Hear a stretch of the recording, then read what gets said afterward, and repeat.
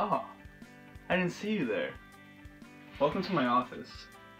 I'm Daniel Braconnier, and uh, you were wondering if I'm the CA you're looking for? Why I know I could be a good CA.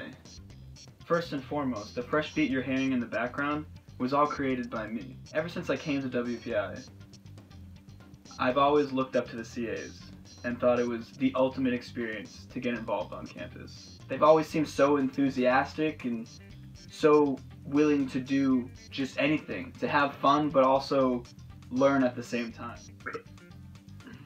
I think I can continue their legacy of helping freshmen become comfortable, involved, and succeed. So you want to know about myself. I'm a junior majoring in mechanical engineering with a minor in material science. For 13 years I've been practicing Kempo martial arts in my hometown. For seven of those years, I've been guiding all ages through the disciplines of martial arts. And I'd like to continue being a teacher to, of others and be the mentor that I had my freshman year. I just want to pass on the knowledge that I've gained over the years at WPI. I want to be that difference for the new member of the WPI community.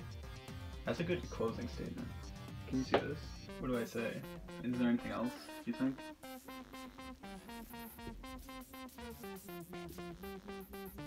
I'm comfortable talking in front of people, being goofy, but also taking things seriously. I've run multiple retreats in my fraternity, Phi Sigma Kappa. I've held leadership positions.